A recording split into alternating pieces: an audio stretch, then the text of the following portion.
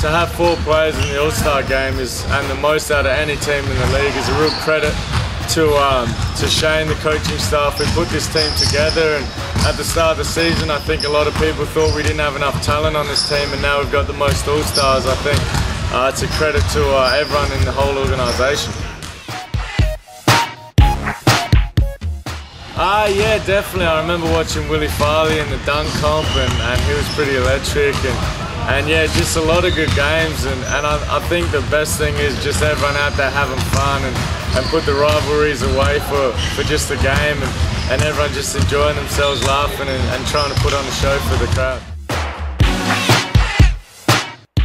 I'm not sure. You know, I've played in games where defense probably won't start until the second half, if any at all, but this game may be one of those games that's defensive oriented. Uh, I'm not sure. I think uh, if someone's got a breakaway, they're going to let them do something fancy. But um, yeah, I don't think the defense is going to be too too hardcore.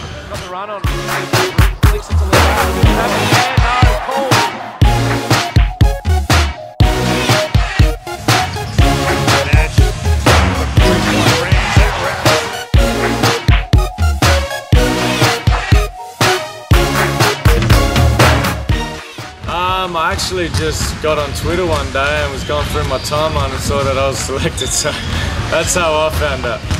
Uh, I woke up one morning and, and, saw that I was chosen for the dunk contest. Yeah, that, that doesn't sit well for me, per se, but uh, I'm just trying to get some fans involved, try to make it fun, make them a part of the competition, and uh, hopefully I can get something that's going to work in my favor. I think all the guys can really light it up, but one uh, that's really a great shooter and um, and he's given us a lot of trouble for the Kings is Oscar Forman. And all of them are pretty athletic, but I, I think Lance Hurdle will probably be my biggest competitor. He's, you know, short guy, so guys like, people like to see short guys jump, and he can definitely jump.